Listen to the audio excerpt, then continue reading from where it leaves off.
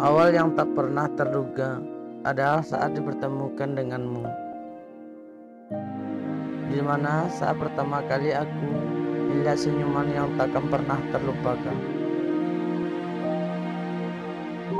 Hari ini aku ingin kau selalu mengenangnya.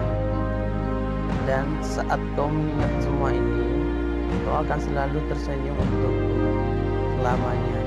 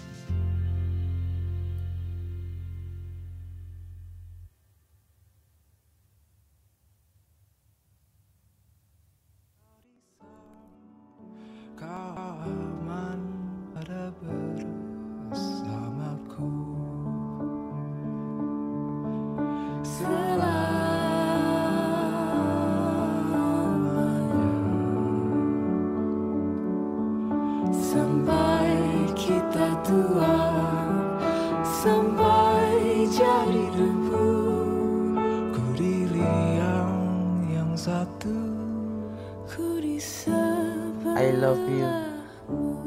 You'll always be my love, forever and always.